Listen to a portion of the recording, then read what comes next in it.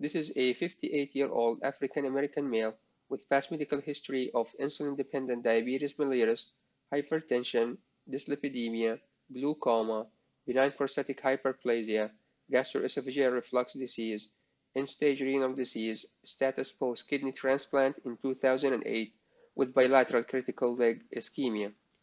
On the right side, he underwent successful endovascular revascularization with subsequent open transmetatarsal amputation and VAC dressing with good wound healing. On the left side, he underwent angioplasty of the left PT, AT, and peroneal arteries on January 16, 2020, but his hallux gangrene progressed into a forefoot gangrene with worsening rest pain. He was offered a left below-knee amputation, but he refused, for which he was referred to Dr. Shishehbor. These are pictures of his left foot and as you can see there is dry gangrene involving the forefoot with skin dryness and no leg edema. Patient underwent non-invasive diagnostic testing and diagnostic angiograms.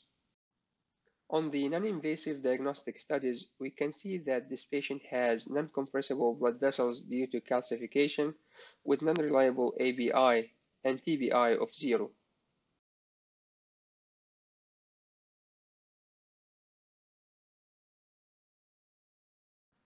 Diagnostic angiograms showed patent popliteal artery without any significant disease, with 60% stenosis of the TP trunk and two vessels run off to the foot through the AT and PT arteries, and the peroneal artery is occluded at the mid and distal segments.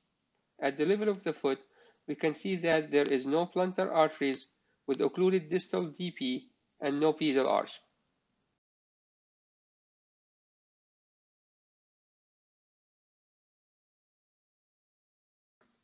On February 4, 2020, we took the patient to the cath lab with the plan to recanalize his pedal arch. We went through a femoral antegrade approach and attempted to recanalize his pedal arch through the DP and through the PT arteries without success. Given all this information, what would be your next step? Would you go for a transmetatarsal amputation and hope that it would heal? Or you would go for a below-knee amputation or you would offer the patient a deep venous arterialization, or you would offer him a stem cell therapy. Deep venous arterialization is an option in patients with Rutherford class 5 or 6 critical leg ischemia with no traditional endovascular or open revascularization options. This concept is old, and it was first published by Halsted and Vaughan in 1912.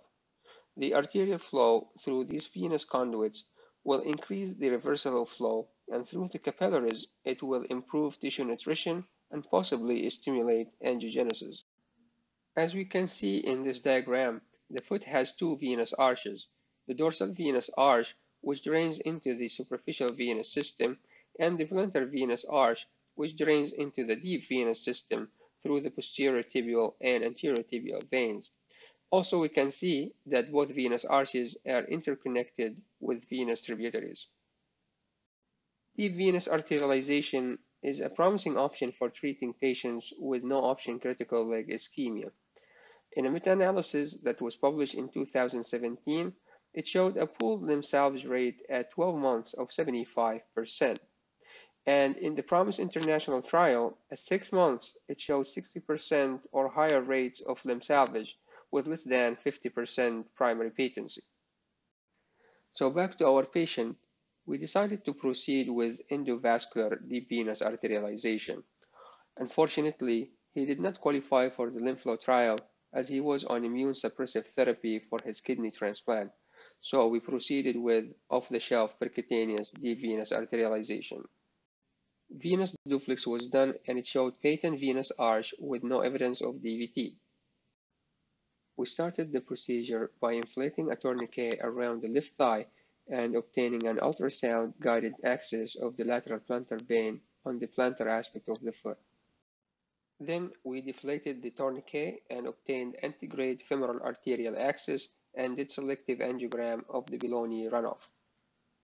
Next, we did angioplasty of the distal pop, TP trunk, and proximal PT.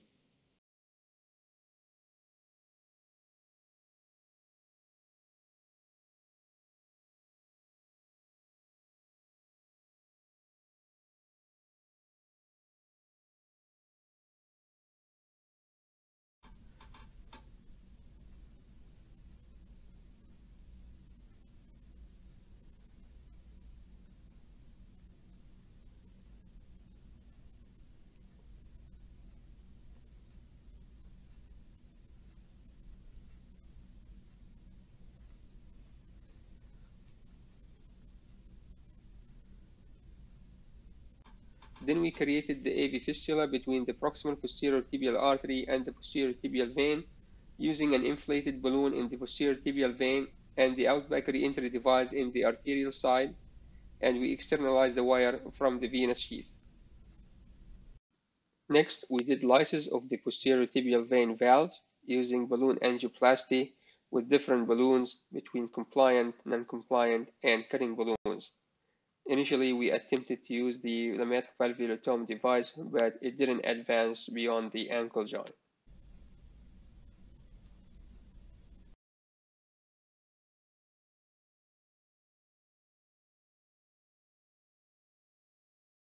Then we did venogram to determine our landing zone, followed by stent graft of the entire posterior tibial vein into the posterior tibial artery through the AV fistula.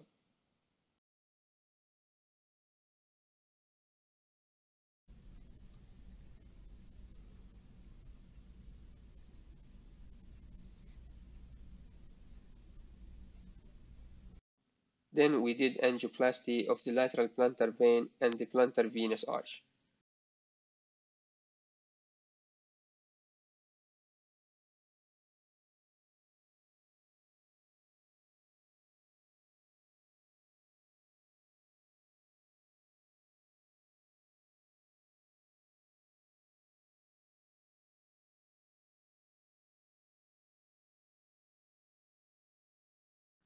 Next, we did post-stenting angioplasty and we found a residual posterior tibial vein valve that was managed successfully with a non-compliant balloon.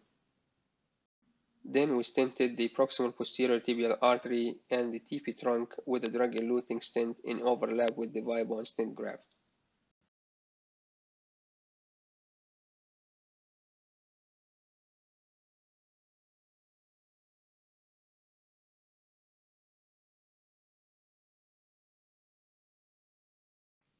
Completion angiogram showed excellent angiographic result with antegrade flow into the posterior tibial vein and the plantar venous arch.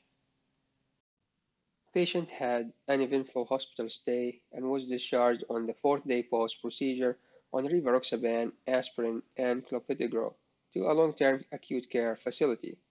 His first follow-up was on March 12, 2020, and he had no rest pain with well-demarcated dry gangrene and patent stent grafts.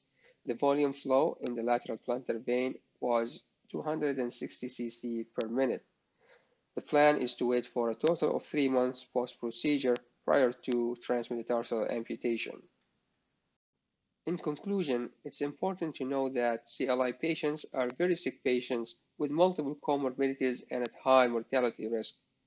Major amputation increases their morbidity and mortality and early recognition with referral to advocated limb salvage centers with multidisciplinary team result in amputation prevention and reduction in morbidity and mortality. Percutaneous deep venous arterialization is a great option for no option CLI patients with acceptable limb salvage rate.